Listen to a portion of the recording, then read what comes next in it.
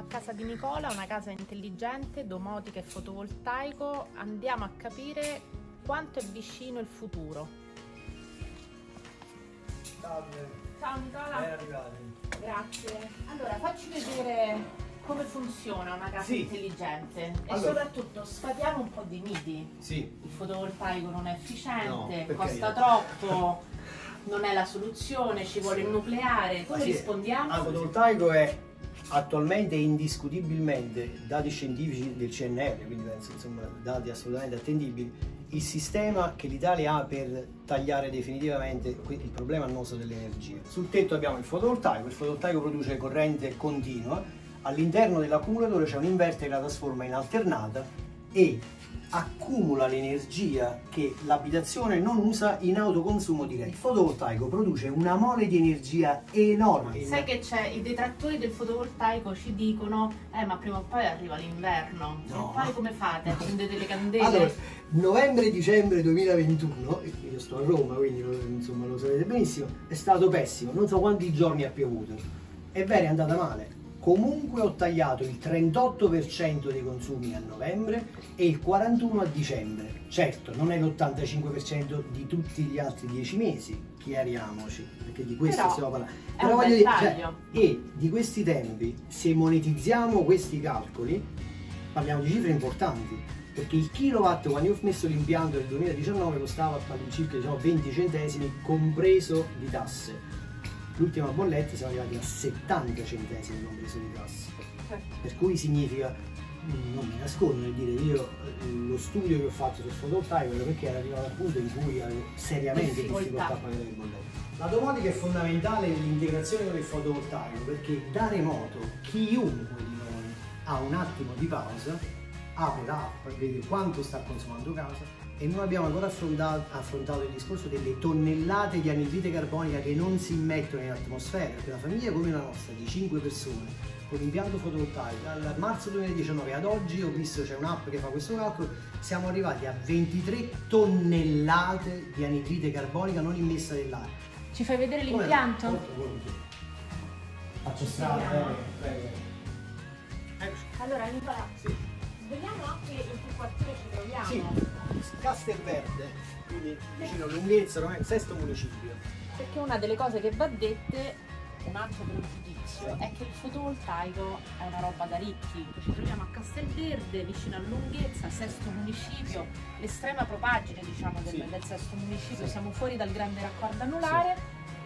E anche qui il fotovoltaico, questo è l'impianto, ci racconta un po'. Sì, sono l'impianto da 6 kW e 6. Io l'ho voluto ehm, eh, sovradimensionare eh, volutamente perché eh, l'ho fatto in prospettiva, perché dopo aver messo il fotovoltaico ho iniziato a mettere il piano a induzione, dopo un anno ho messo la pompa di calore elettrica e quest'anno ho Hai raddoppiato elettrificato i consumi. totalmente. E ho messo pure la colonnina per la ricarica elettrica, perché la macchina elettrica non è il futuro, è il presente. Quindi questo, diventare autonomi completamente, oltre al risparmio energetico, significa ottimizzare tutto il bilancio familiare, perché le macchine ce le carichiamo a casa e nessuna colonnina in giro o nessun distributore di benzina potrà mai avere i costi che abbiamo noi a casa. Evidente perché noi non, non speculiamo sull'energia che, che produciamo, Certo, la produciamo e poi ce la nostra. consumiamo.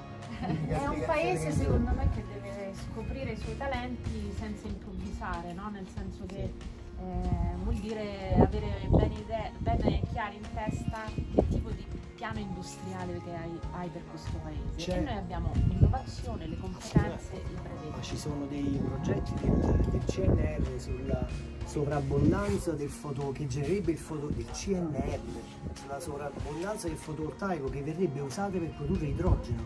Potremmo essere la nazione d'Europa più capace nel produrre idrogeno, purtroppo attualmente è ancora molto costoso, da fotovoltaico, quindi abbasseremo i costi e potremmo venderlo a tutta l'Europa. In questo momento, In questo momento stiamo allora, sto con- consumando 600 watt, la, la produzione solare è 700 watt, ok? La batteria è piena al 95%. Quindi abbiamo detto abbattiamo i costi, abbattiamo le emissioni, ab- abbattiamo la nostra dipendenza, si parla adesso normalmente della dipendenza dal gas, la guerra di Putin.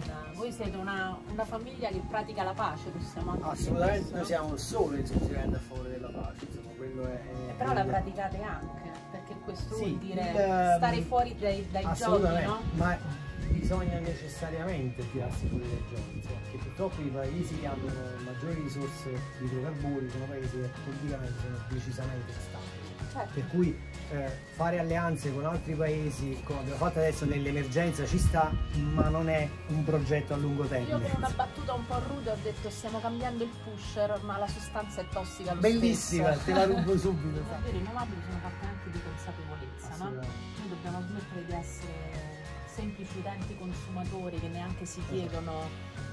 Avere questo tipo di misurazione ti aiuta anche a capire dove puoi risparmiare Sì. e dove puoi consumare Esatto. di meno, perché si può Esatto. vivere felici anche Ma consumando meno energia. E soprattutto si può vivere la casa con più tranquillità. Io spingerei moltissimo l'autoconsumo collettivo, perché eh, abbiamo grandi eh, condomini con grandissimi tetti. E la bellezza e la meraviglia della tecnologia fotovoltaica in situazioni anche di eh, di degrado. Insomma, Tu hai abitato a io ho abitato a Tor Tor Bella Monica, sono stato da Dio, a Tor Bella Monica sono stato benissimo, persone splendide, cortesi, però è chiaro che non è che ci nascondiamo di Dio. Tutti conosciamo quali sono i problemi di Tor Bella Monica. La povertà energetica, Assolutamente. Allora, in condomini del genere dove veramente tante persone fanno fatica, non a pagare la bolletta, arriva veramente a fine mese e non è il luogo comune del gente che le cioè, ci ho abitato insieme. Fatica tantissimi stranieri, persone di una cortesia unica, unica. Bisogna aiutare tutti. Il fotovoltaico può. Bella- un, un bel impianto in autoconsumo collettivo dove tutte le palazzine beneficiano della grande energia.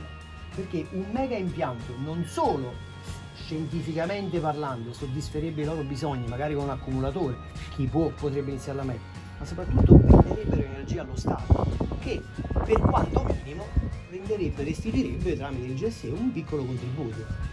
Quello è efficientamento energetico. Poi, Magari lo Stato potrebbe usare quei soldi per fare manutenzione sulle Magari. case popolari. magari i parchi che ci sono, qualche giostina in più per i bambini che non farebbero male, insomma, le scuole. La Quando risposta sociale alla povertà energetica È data l'autoconsumo dall'autoconsumo collettivo. Va bene, grazie mille. È stato un piacere. Indipendenza energetica, abbattimento delle emissioni, lotta alla povertà, autoconsumo. Sono queste le parole d'ordine per un nuovo piano energetico italiano. Su questo voglio lavorare.